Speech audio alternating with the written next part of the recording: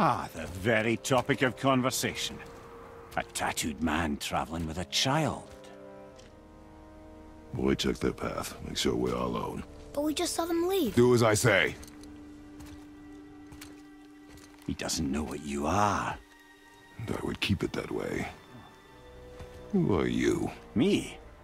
I'm the greatest ambassador to the gods, the giants, and all the creatures of the Nine Realms. I know every corner of these lands, every language spoken, every war waged, every deal struck. They call me Mimir, smartest man alive. And I have the answer to your every question. Why does the son of Odin hunt us? Okay, there are a few gaps in my knowledge. But Odin's had me imprisoned here for 109 winters. I'm a clever lad. I can piece it together. Promise. Just given time. Nobody there, just like I said. The boy's mother is dead. She wished her... She wanted us to spread her ashes on the highest peak in all the realms. Oh, then you've come to the wrong place, little brother. The highest peak in all the realms is not here in Midgard. It's in Jotunheim, realm of the giants. No! That could not be what she meant.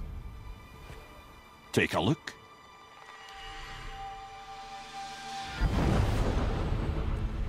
This is the last known bridge to Jotunheim in all the realms. See that mountain? Looks like a giant's finger scraping the sky. That's the highest peak in all the realms. No here. Can't we just take that bridge? We have a Bifrost. When the giants destroyed all other bridges to their realm, they locked this one up with a secret rune.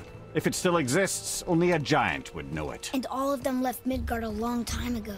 True. But today, the winds of fate have kicked up a strange vortex of coincidence. Fact is, there's only one person alive who can get you where you need to go. And luckily for you, my schedule's wide open.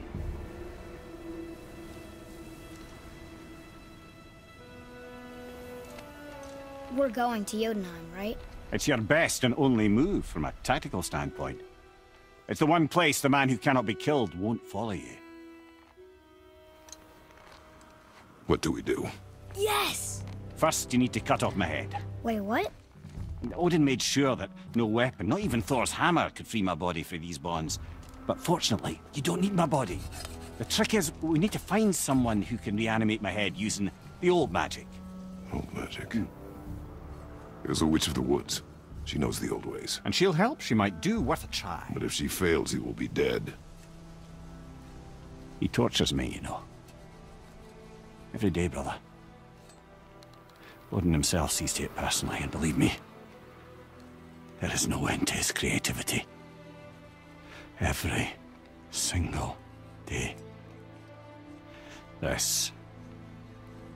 This isn't living. Very well. Oh, I can't watch this. Brother. In case he can't resurrect me, there's something you need to know. Boy, the longer you wait to tell him his true nature, the more damage you do. He will resent you, and you may lose him forever. There is much about me I would not have him know. So you value your privacy more than your son, eh? I'm going to cut off your head now. Fair enough.